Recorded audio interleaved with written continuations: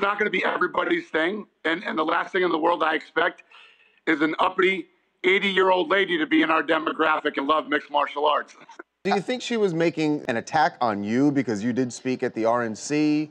I don't know. Maybe. Maybe she did. I'm, I'm not sure. Um, I mean, Ari Emanuel is is definitely Hollywood, and uh, you know, uh, he makes movies and TV shows, and uh, and wasn't a Trump supporter either. But I, I don't know if you really uh, look at who follows the UFC and is into mixed martial arts. It's everybody. You know, um, I, I like I said. I, I, I don't expect an 80 year old woman to be a big fan of mixed martial arts. Um, and listen, you know, everybody's into whatever. They're, I'm not a big fan of golf. Doesn't mean people should stop watching it. Uh, if you don't like it, change the channel. Is it an art?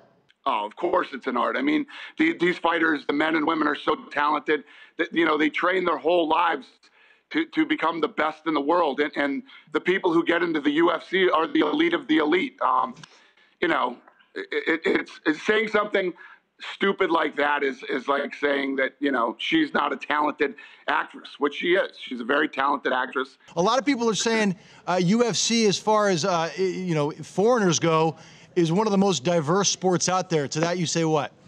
You got that right. That's that's exactly right. Um, you know, we have fighters from all over the world, champions, world champions, men and women who are, uh, you know, we do fights in, in, tons of foreign countries. She's not educated about the sport, um, and it was a completely uneducated comment. If you like what you just saw and you want to see more videos of your favorite athletes, crazy stories, and just all the best off the field stuff, uh, subscribe to the TMZ Sports YouTube channel. The subscribe button is right here, and check out more of our exclusive content right here.